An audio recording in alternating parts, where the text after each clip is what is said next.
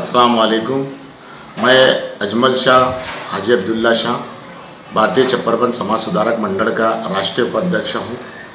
जैसा कि मैं आज आप सभी शाह बिरादरी के हजरात को बताना चाहता हूँ कि भारतीय चप्परबंद समाज सुधारक मंडल की स्थापना जो है, ये बहुत साल पहले हुई थी और एम एम शाह के माध्यम से एम एम शाह अध्यक्ष और मैं राष्ट्रीय उपाध्यक्ष ऐसे हम दो लोग थे। चूँकि मैं नगर पालिका की नौकरी में था तो एम एम शाह के साथ में मैं पर्दे के पीछे रहा हर वक्त।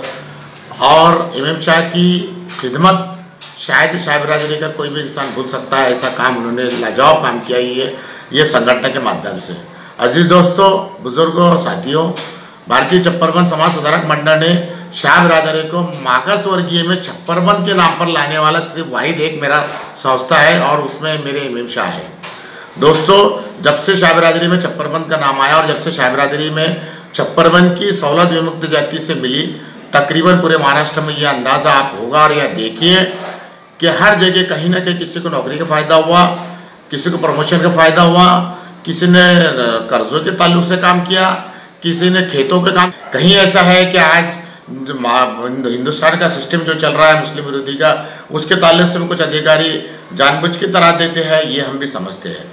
इसीलिए हमने मुसलमानों की कुछ तंजीमें चलने की वजह से शाह की कुछ तंजीमें खुल गई थी छप्परबंद के नाम के ऊपर। वो लोग अभी तक भी जो काम इमम शाह ने लाया, जो का नाम इमम शाह ने लाया छप्परबंद का, जितने इमम शाह के साथ की वजह से जी जी आर परिपत्र निकले, ऐसा कोई भी संगठन ने नहीं किया। हम वो बात से बहुत दूर हो गए थे। आठ, नौ साल भी इमम शाह हम अपने घर बैठे थे, ताकि हमारे बिरादरी के भाई लोग जो दूसरे काम कर रहे हैं, अल्लाह उनकी संगठन के माध्यम से मेरी शाह बिरादरी के लोगों को आगे बढ़ाए। यह हम दोनों की तमन्ना थी।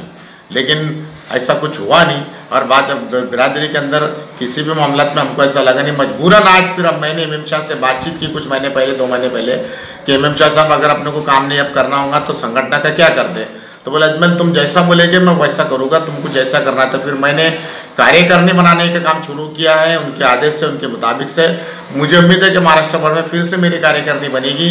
भारतीय चप्परबंद समाज सुधारक मंडल की कार्यकारिणी बनेगी। अभी फ़िलहाल मैंने एम शाह के माध्यम से एक प्रोग्राम मेरे घर पर ही लिया है। मेरा राष्ट्रीय अध्यक्ष होने के नाते से मेरे को उनकी हर बात बताना ज़रूरी है और अभी तक भी मैंने उनके उनसे ही पूछकर उनसे सारे राय मशरे लेकर ही काम किया है। और उन्होंने भी मुझे से बगैर पूछे कोई काम नहीं किया। फिर पिछले हफ़्ते में मैंने उनकी मर्ज़ी से फारूक शाह नुमानी साहब अड़ावत के है, ये पत्रकार भी है और समाज के, सोशल वर्क भी बिरादरी के, शाह बिरादरी के और शाह बिरादरी के हरकवा लड़का है। एक गरीब कुटुंब से है। ये गरीब कुटुंब से ये मैं उनकी असलियत नहीं बता रहा, लेकिन मुझे जैसा हमको चाहिए कि ईमानदार आदमी, एक सच्चा इंसान जो कौम की काम कर सके, इमाम शाह की, अजमल शाह की वाह के लिए नहीं। सिर्फ़ कौम का ये बंदे के ज़रिए से अगर काम काम हो जाता है तो सुबह अल्लाह हमने इनको प्रदेश का उपाध्यक्ष प्रदेश का कार्याध्यक्ष दिए ले, इनकी नियुक्ति करे अगर आप हजरात शाह बिरादरी के लोग अपने अपने इलाकों में, ज़िला वाइज, तालुका वाइज खेड़े के गाँव गाँव के हिसाब से कमेटियाँ, बूथ कमेटियाँ, शाखाएँ बनाते हैं तो आप इनके जो है, फारूक शाह नुमानी, इनको कांटेक्ट कीजिए महाराष्ट्र के भर के लिए और जलगांव ज़िले के लिए अगर कांटेक्ट करना है तो फारूक शाह नुमानी के अध्यक्षता के अंदर ही हमने जलगांव ज़िले से, जिला अध्यक्ष जलगांव ज़िले का जफ़र अली शाह को दिया है। जो इदलाबाद के रहने वाले हैं, ये भी एक अच्छा कार्यकर्ता बनता है मुसलमानों के शाह बिरादरी के ताल्लुक से। मेहनती है, मेहनत कर रहा है। तुम लोग इन सबको जलगांव ज़िले में जो जो भी जहाँ जहाँ भी अपने तालुके के कार्य करने लेना चाहते हैं, खुलना चाहते हैं, समाज का कुछ देना है उदार बिरादरी में। अगर हम बिरादरी में पैदा हुए, अल्लाह ने हमको अकल दिया है कि मैंने तुझे अकल दिया, अल्लाह सवाल करेंगे मारने के बाद कि मैंने तुझे ये चीज़ दी थी, ये चीज़ दी, तूने अपनी काबिलियत पे क्या मेरी कौम का कुछ काम किया? इबादत से ज़्यादा अल्लाह ताला ने इस पर भी मामला रखे हैं। आप लोग, मैं तो छोटा सा इंसान हूँ, मैं तुमको क्या बता सकता हूँ? मेरी औकात नहीं बताने की।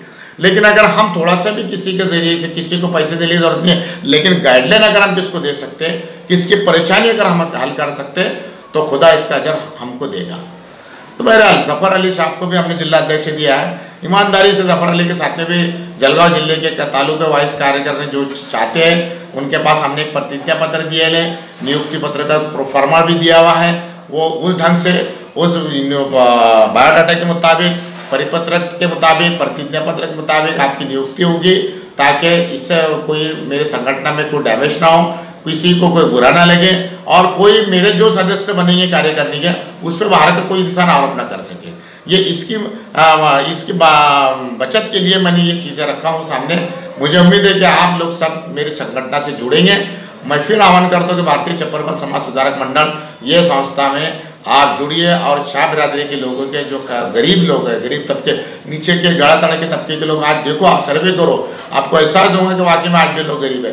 कुछ लोग पढ़े लिखे हो गए कुछ डॉक्टर इंजीनियर बने जिसका मतलब ये नहीं कि पूरा समाज साक्षर हो गया पूरा समाज अभी भी साक्षर नहीं है। हमें बहुत ज़रूरत है हर काम की करने की, मदद की करने की लोगों की। अगर हम लोग अगर सोचे कि आज मेरा हो गया, मैं दूसरों का नहीं तो नहीं, ये गलत बात है। आज तुम्हारा हो गया, तुम दूसरों के लिए आओ। सब इसी इंसान सोच के काम करना चाहिए। अगर आपको लगता है कि मेरे संगठन वाकई में अच्छी है तो आप समझो, फारूक शाह नुमानी से समझो, जाफ़र अली से समझो, असगर भाई मुसल वाले, असगर शाह उनसे समझो, अंसार शाह मुसल वाले उनसे समझो जो भी हज़रत आपको मिलते हैं, उनसे समझ लो और आप बिरादरी का साथ दो। छप्पर समाज सुधारक मंडल की शाखा में अपना सदस्य बनो। ये भी ना समझे को कि सदस्य बनो तो कोई पैसों का मामला नहीं। अल्लाह के बंदो, ये फल फलाबूदी का काम है। जहाँ ज़रूरत पड़ेगी, मेरा हर बंदा, हर कार्यकर्ता आपको बताएगा कि आपका क्या मामला है, आपको गवर्नमेंट में कैसे पैसे लगना है, कितने लगना है, ये सारे एकदम साफ़ सुथरा व्यवहार वो रखेंगे तुम्हारे साथ में। ऐसी मैं उनसे भी उम्मीद करता हूँ, मेरे लोगों से भी। जो आपको बताया हूँ, बोलने उसमें कुछ गलती हुई उसके लिए माफ़ी चाहता हूँ। और मुझे छोटा आपका बच्चा, बंदा, भाई समझ कर माफ़ कर देना और मेरी अपील को कबूल करना।